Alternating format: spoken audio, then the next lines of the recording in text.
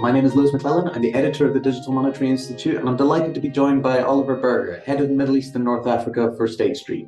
Today, we're going to be talking about the topic of data governance in central banks. Having spoken to a lot of central banks about this topic, it's something that really wasn't hugely on their radar a few years ago, but the complexity and the volume of the data that they've been gathering has increased very dramatically over the past few years with each different division and department having to collect data on their own initiative. Without a broader institutional framework governing how this how this data was collected, they ended up with a very organic approach, uh, which suited each individual user at the time, but uh, became quite unwieldy and, and caused some inefficiencies uh, for the institution as a whole. So we've got Oliver to, to discuss those topics in a little bit more detail. Um, Oliver, can you tell me a little bit about how central banks are approaching their data transformation process? Hey, Luis, thank you. And first of all, thank you for having me on the podcast on, on this subject. So let me just answer your first question. Data transformation has really been an evolutionary process for institutional investment firms. Technology and innovation has taken hold and is creating a range of new possibilities and breakthroughs at many levels.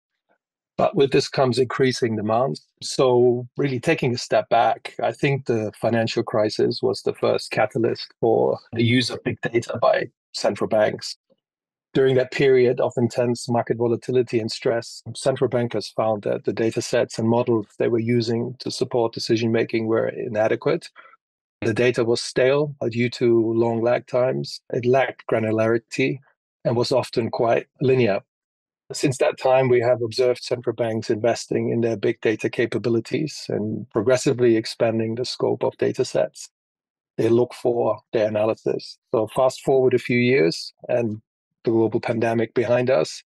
And today we see the central bankers exploring non traditional data sources for their economic analysis. They are looking at unstructured data sets, including social media, sentiment, data from media, press releases, and data from third parties, including mobility reports, internet searches, and um, really other sources. In Japan, the BOJ are looking at internet advertising uh, when measuring inflation. In Europe, there's been a drive to use new micro level data, such as online operations and trading platforms, mobile banking data, and records relating to security settlement and cash payments. Another area of increasing interest is incorporating ESG data into economic performance, financial stability, and asset allocation decisions. And I think in particular on that ESG data, we have seen central banks really going deep into local country data, which is a very difficult task to harvest, really. At a macro level, we're also experiencing some fundamental economic uh, shifts. Central banks are exploring new asset classes and investment strategies. And across the board, the widespread integration of ESG factors. Other shifts include changes to internal and external portfolio management and the operating model implications that this brings.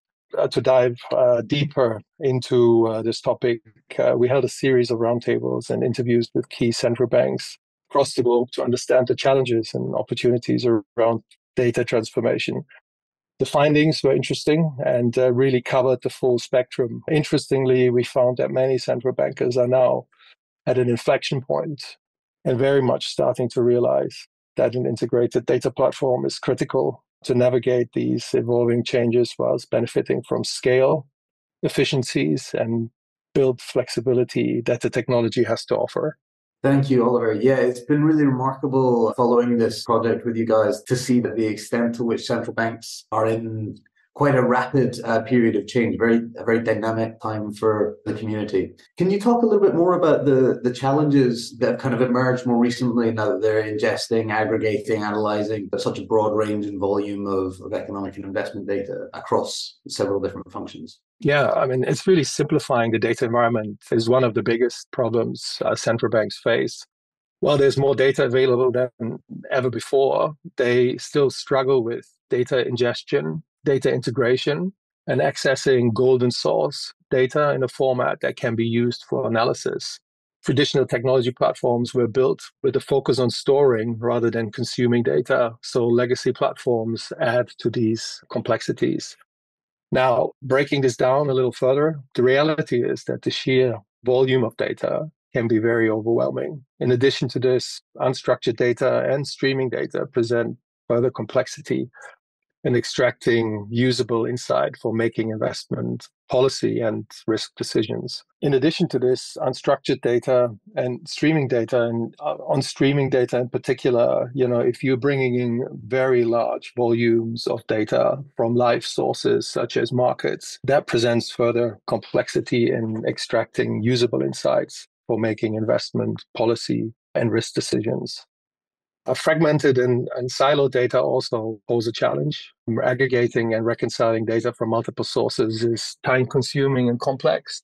It also hinders timely decision making and increased costs. During our conversation with central banks, we found that many central banks operated without a governance framework of any kind. Each department would gather the data it needed in the format that suited their individual needs. Over time, this multiplier effect created an expense of different systems for managing data, widespread replication of effort, conflicting or unverified data, and serious inefficiencies in data governance. And at times, when you look at operating models and data connections, it would rather look like a tube map than an fitting model, just to illustrate that a little further. Data delivery plays into this as well. This is about getting the right information to the right people at the right time. Doing our research, we found that central banks were tackling this with very different approaches. One central banker discussed how they were improving data share and collaboration with a data sharing initiative. Having better visibility across their data has allowed them to make linkages that were not apparent in the past.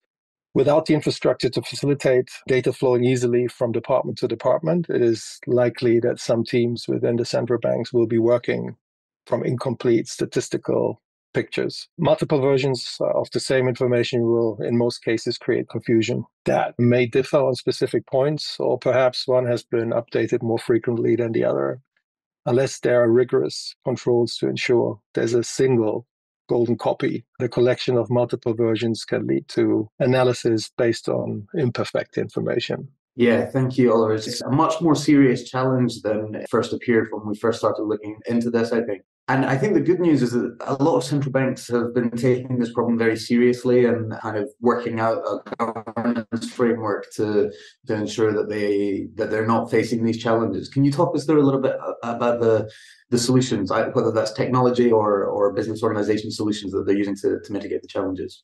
Yeah, sure. I mean, there are many different ways that enterprises can adopt new technology platforms. I think there's a few key considerations for those embarking on that data transformation journey. Consolidating data environments and effectively streamlining business processes promotes collaboration and increased transparency within those firms. Open architecture platforms that support interoperability and uh, interoperability is really a key point here to enable to bring, you know, great systems and existing operating models together with future operating models to have that really open architecture. And with a diverse ecosystem of third party solutions that can really drive transformational value with their ability to deliver fit for purpose applications and services across the investment lifecycle. And then enterprise data management helps to streamline data by breaking down technological and functional silos. Central bankers can capture and leverage data across the firm and then integrate these data sets to reduce operational risk, increase accuracy, and free up resource. We see the implementation of a suitable platform as the foundational piece. And then the real enabler for bringing these pieces together is around the supporting of data services, meaning that you know once you kind of brought the data together you normalize the data you enrich your data that you extract maximum value in a professional way of you know the structure you have created. So if you think about this in the context of managing reserves the enterprise data management platform enables the connectivity to draw data from various sources in a seamless manner and then services layer uh, then helps to validate curate, govern, and create a master of the data. And ultimately, that's the key to being able to get real time position data, visibility of risk at a firm wide level to support investment decisions. During our discussions, central bankers also spoke of the growing speed and velocity of data needed for statistical uh, analysis. In the past, it was feasible for central team to serve the data needs of other departments as they rose, but it's no longer practical in most cases. Some central banks are now giving users the tools they need to harness this data in a flexible and easily to access format to create better outcomes. I think we will continue to see significant advances in data, technology, and platforms, and large institutions, including central banks, will need to keep pace. A large part of this will come down to how they integrate new technologies, data platforms, management tools, and so on, with a data centric mindset. Yeah, it's been it's been incredible to hear about the the increasing expectations on on data services within central banks. Just a hugely more complex job uh, performed at a much higher pace than it, than it seems to be a few years ago. I wanted to ask you a little bit about the topic of the cloud. That's obviously a very important part of uh, the data governance story. And yeah, I'd be interested to to hear your thoughts on on how central banks are approaching that. Yeah, I think this is you know hard to go very far on a data conversation with a central bank without addressing the cloud. And every enterprise data management model will ultimately have some component of cloud. I think we have observed software vendors moving very rapidly from on prem to cloud based technology. So this will not be only relevant for data, but it will be relevant for a wide variety of software solutions. You know, back to the cloud, it, it offers significant benefits flexibility, transparency, scalability, and resiliency. But many central banks are wrestling with data sovereignty as they look to adopt cloud models. So cybersecurity is, is clearly also of concern given their mandates uh, and what is at stake. We covered this topic through the research and found that some central banks are reaching somewhat of the middle ground.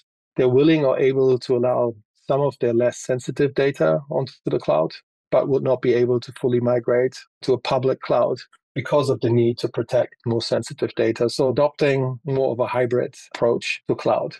Hybrid clouds are a mix of public cloud hosted on a multi-tenant infrastructure and private cloud hosted in on-prem infrastructure offering a blended approach. This helps to enable the benefits of efficiency and tools offered within cloud without compromising on the security standards of storing sensitive data. So, taking a look at how some are navigating this path more specifically, one central bank we spoke to said they were considering a model where data is stored in the cloud in an encrypted form. In this case, the data could be stored and shared efficiently for analysis, but the key for the encryption would be held separately by a third party. That would mean if the cloud provider was ordered to release data, would only be able to release encrypted data, ensuring the sensitive information remains private and protected.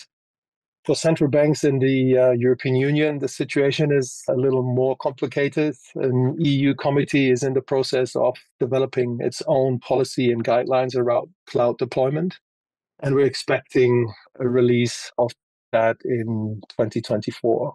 So while the adaptation of cloud is not without its challenges, uh, we are optimistic that cloud technology will evolve rapidly and deliver significant benefits to central bankers in time. Yeah, thank you. It's it's really interesting to watch the this process at central banks. They take quite a different view in comparison to the the private sector, which perhaps isn't a surprise, but you know they have a lot of the the same challenges in common. Just to sum up, then, um, we, we've talked a lot about different components of, of the data governance process and, and technology, but can you talk a little bit about how this all intersects, how it's all being put together on the ground? So I'm thinking about the process, the technology, and the people as well. Uh, can you talk a little bit about how that's implemented? In summary, you know, cloud hybrid cloud technologies, a gold copy of data, data management, data management services, and creating operating model interoperability are the key drivers for central banks going forward. I would say in closing that a number of central banks we're talking to are planning to make their first steps towards hybrid cloud in 2024 and have already begun in choosing components of their future operating model, which natively migrate into a public cloud environment when they're ready to migrate. And maybe with the data encryption we discussed earlier, in order to start the journey to continue to be competitive in today's larger market environment, it is key that central banks can also use efficiencies which the broader market has access to in a cost effective way based on the highest standards of data protection as they evolve on their journey to the cloud and managing data efficiently with a gold copy of data at the core of their future operating model. Excellent. Thank you, Oliver. Uh, it's a really interesting topic. Certainly, much bigger challenges with, with much broader implications than uh, than we realized at the at the start of the project. So delighted to to have you here, talking us through the research there, and I'm sure there'll be much more to discuss on this topic in the future. Thanks for joining us today. Hey, thank you, Lewis. Thanks for having me today. Thank you for listening today. I hope you've enjoyed it. If you found today's podcast interesting, the report published alongside State Street will be available from April 27th. Thank you for listening. Do feel free to check us out on social media. We're on Twitter and LinkedIn, and the podcast is available on Spotify, Podbean, and on our website as well on, on OMFIF On Demand. Thanks very much for listening. Goodbye.